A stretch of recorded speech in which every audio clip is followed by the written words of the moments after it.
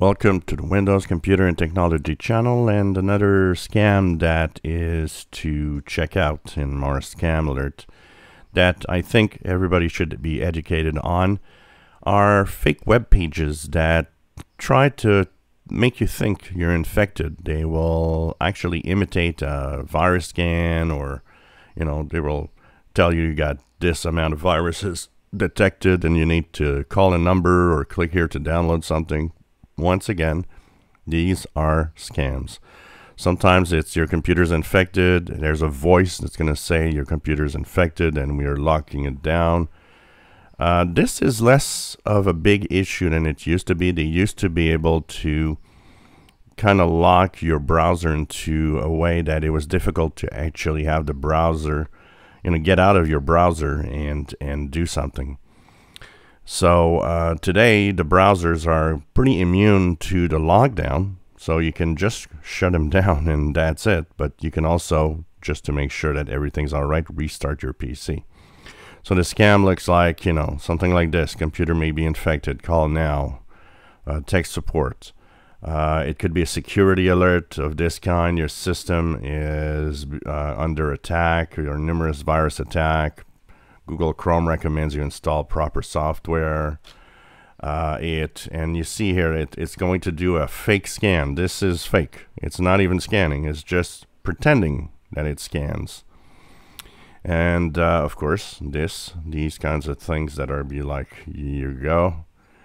And they're trying to lure you once again and having and they're telling you this is Microsoft support and that this is something that you need to do something right now. They're trying to actually kind of hint that this comes from Microsoft. In reality, Microsoft does not do that. Fake Norton threats of all kind, like you see here, Norton by Symantec, but it's once again an imitation. It's not the true Norton. It's not a true scan. Once again, another phony number that you call that, yeah, somebody will be on the line on the other end, but they're going to scam you. And so this uh, is very popular. As uh, when I was a tech guy, this was one of the things that happened regularly to uh, some of the clients that would call me and say, "Look, I, I got a virus," and then I would see this, and it's like, "No, you don't." And some have called the numbers and got you know bills of two, three, four hundred dollars on their credit cards. So uh, these are all fake. What do you do when that happens? Today, for the most part, you just go on the upper right corner and click the X for the closing down the browser. That's it. Nothing. You don't have viruses. It's fake. They're trying to lure you once again. Um, the other thing you can do is simply restart. So click the start button and go into your restart to restart your PC. If it's not available, you can click Control Alt Delete on the keyboard, actually, all three keys together, and restart from there. Once again, you're not infected and there's nothing wrong with your PC.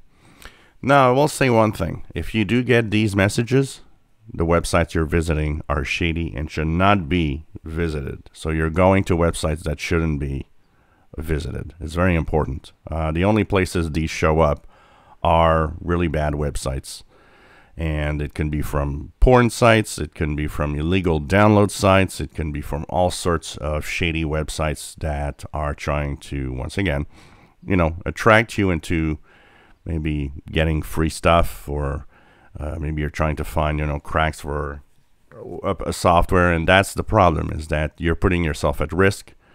Um, and this is an example that, you know, when you do bad things, you get bitten, and sometimes not. Most of the times that is fake. But you know what? Um, that tells you that you're living the dangerous life. Once again, no antivirus is going to protect you from that. You have to stop going to these websites. That's all. It's the only way that you'll really have, um, you know, be okay. So Remember, they only appear on shady websites. They won't appear on you know Google, good websites that you everybody go to, your favorite newspapers, so on. That never shows up on these pages. That shows up on a shady site. If that would pop up on a good website that you you know that that is safe, that would mean you are probably infected. but um, this is usually you just restart and that's fine. So spread the word. All you have to do is close on the browser or restart your PC. If you enjoy my videos, please subscribe, give us thumbs up, and thank you for watching.